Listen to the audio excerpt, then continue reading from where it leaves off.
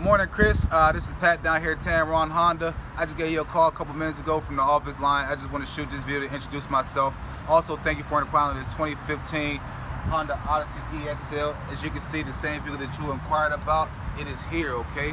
I would definitely love for you to get a hold of me today so I can go over all the extra bells and whistles as far as the Bluetooth, the backup camera, um, and all the extra gadgets that come along with this. But I need you to get a hold of me today at your earliest convenience. Uh, my number is 412-512-0564. Call, text, whichever one works best for you, works best for me, or you can send me an email at peabodytamron.com. Hey Chris, down here at Tameron, we do things one way, that's the right way, and I love the way you treat it.